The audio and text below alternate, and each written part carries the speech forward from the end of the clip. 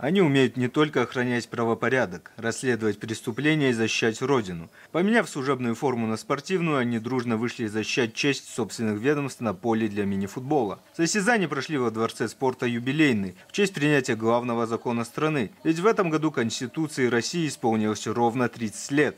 Это фундамент нашей страны. Я вас поздравляю с этим праздником.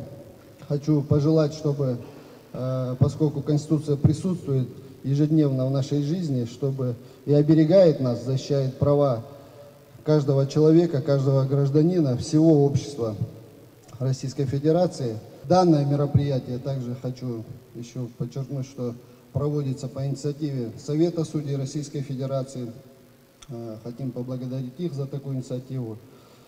Пусть победит сильнейший, хорошего турнира. Спасибо вам всем. Как отмечают сами участники, спортивные игры положительно влияют на взаимоотношения в коллективе. Ведь это возможность разнообразить рабочие будни и повысить уровень мотивации. А самое главное – улучшить коммуникацию между сотрудниками и создать приятную атмосферу для дальнейшей работы. Во-первых, это здоровый образ жизни, конечно же, поддержание своей физической формы. Во-вторых, это, а, конечно же, общение, новые знакомства с э, какими-то ребятами, не пересекаемся в э, плане трудовой деятельности, э, знакомимся на футбольных полях.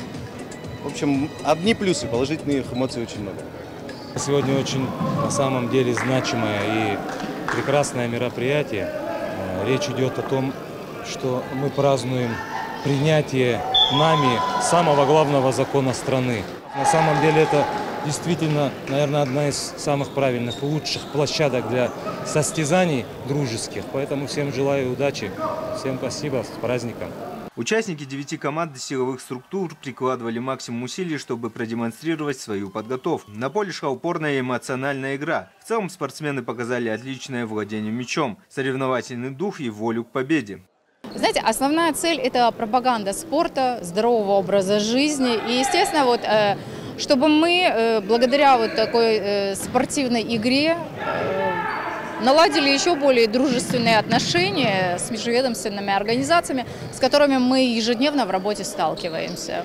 Конечно же, участников команд пришли поддержать их друзья и коллеги, благодаря чему дух единения и азарта присутствовал на протяжении всей игры. В результате состязаний первое место заняла команда Управления Федеральной служб войск Национальной гвардии. Второе завоевала команда судебной системы. Ну а третье место досталось команде пограничного управления ФСБ России по КЧР.